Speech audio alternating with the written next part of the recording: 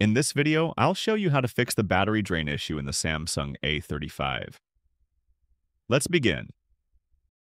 First, open Settings, then tap on Battery and tap on Background Limits. Then enable Put Unused Apps to Sleep.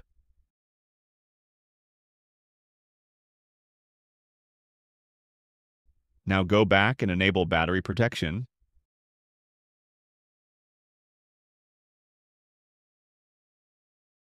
Set it to maximum. This will save your battery life and battery timing.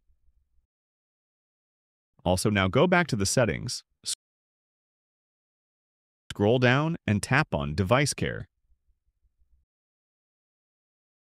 Now tap on Memory and tap on the Clean Now button.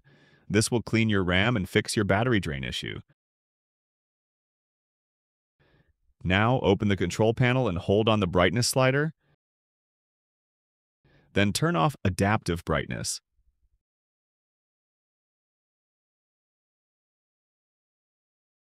Now tap on details and switch your phone to dark mode.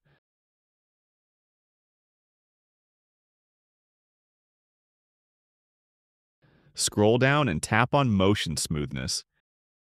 Set it to the standard feature. These methods will help save your battery. That's it for the video. If you found it helpful, don't forget to like, share, and subscribe. Thanks for watching.